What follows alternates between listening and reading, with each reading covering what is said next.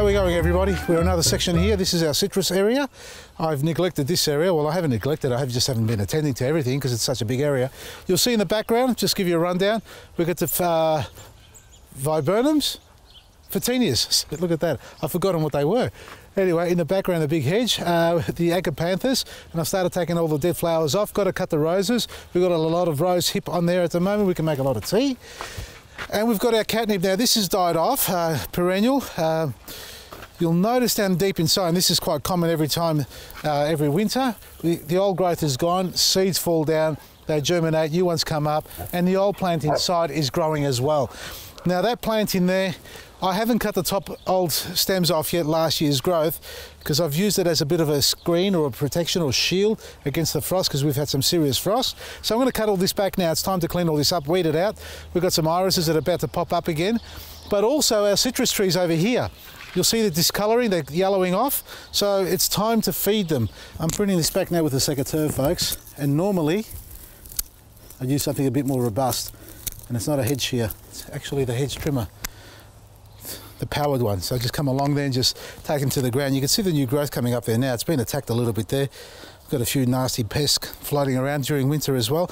But you know, no harm to the catnip. This is just going to bounce back and we're going to get the beautiful flowers coming through. And in springtime, the bees will be out in, in search for these beautiful flowers to make some more honey for us. Now, I've done one. I'm not going to do, well, I'll do the other side so we can open up the room, but I'm not going to do the rest for now. Have a look what I'm doing here. I've got the Eco Butch here. and I thought I'd test it out to see what pH level it's at. Let me turn it on. This is the 4-in-1 soil uh, survey instrument. I've got it set on pH sitting at 4 there. So it's meant to be acidic because if you look at the, uh, the uh, what do you call it, the analysis, the nitrogen sitting at 5.7, phosphorus 1.2, and potassium 11.7 so you get lots of flowers with this too. So it'll induce flowering give it the acidity it needs. So we're going to water that in. But before we do that we're also going to test the soil first to see where it's sitting at because the yellowing of the leaves now we always say yellowing means the plant's hungry and if it's hungry we've got to feed it all right let's test it out all right, so just give it a couple of minutes to settle down and pick up the pH level. Now, if it doesn't go below six, uh, in the reading there, the soil is neutral or alkaline and hence why it's yellowing off. So we need to feed that.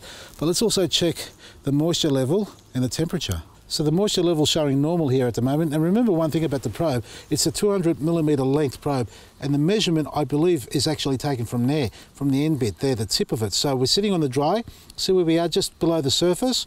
And as we go deeper, it's hitting normal and obviously the water goes down with gravity, sinks down, so the deeper we go, it should be wetter. Let's hope. Wet, there we are. See that? So we've just got the wet reading. As we come back up, it's dry. So it's quite dry on the surface.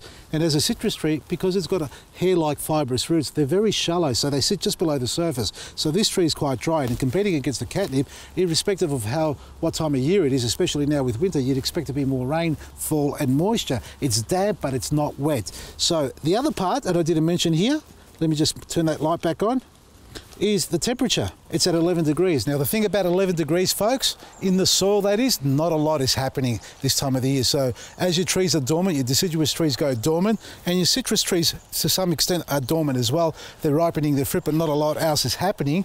The soil is also dormant too. Now you know composting we love making compost or we try to make our compost and some of the elements or one of the main elements is heat now we need to have the right temperature in the compost bin or uh, bay that you have so that the actual microbes that create the compost uh, come to life. So they need to sit around 55 degrees Celsius. Now you don't want your soil to hit that sort of temperature, but you definitely need it to be above 11 degrees or 10 degrees where it is at the moment because the microbes don't are, are far less active.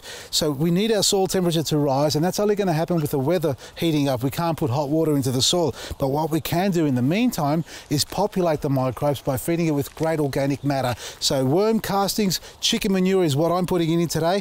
Eco Butch and Liquid Gold. So we're going to top dress all this now, give it a water, and then sit back and watch the green leaves come back to life. And before we take it out, let's check the pH. So 5.5 down deep below.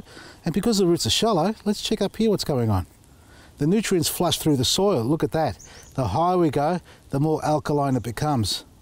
We are sitting at seven. So the surface of the soil is sitting at 7 pH, which is neutral, actually alkaline. And as soon as we go a bit deeper, look, seven and a half there, it's picking up different readings. But as you go deeper, there we go, back down to six. So obviously any fertilizer you've applied to the garden in your garden bed like I have here has gone down deep below, just below the root system. And hopefully the roots are growing down below, but we need to top dress this as well because you can't have an inert garden bed on the surface and all the activity down deep below where the roots can't reach. So about a handful or two around the base. You don't need a lot of this stuff. This is some chicken manure. You know how I know that is? The dogs love it. They've been at it already. So I'm going to put about a third of a bag around this little tree and spread it around evenly. You don't want it too close to the trunk or too heavy around the base of the trunk, like that. And not just over the uh, drip line, spread it out wherever you can. You know, I can't do too much here because I've got little plants everywhere, but that's nice. There we are. And last but not least, give it a drink with Eco Butch and Liquid Gold. So the first batch is sunken in, so you can't water it all at once because it'll just run off. You need it to soak through slowly. So I did one little drench, another one. You can see how it pulls up. That's all you need to do. Let it soak through. And if you can, on the third one at least, over the top of your trees. That's if you can reach a nice drench over the top because it does help feed the tree from the foliage as well. So give your trees a good feed this time of the year, folks. And if you need to check the pH, the best way to do it, and I've used a lot of uh, machines and tools and uh, soil test kits and all things like that. This little unit here is a, is a ripper, four-in-one soil survey uh, instrument is what it's called, and it has the four elements, the sun factor, heat, moisture, and your pH. And obviously when you need to feed your trees, use some quality compost or manures, worm castings, and our liquid fertilisers, Eco Butcher Liquid Gold, and you find all this on Vasili's Garden website.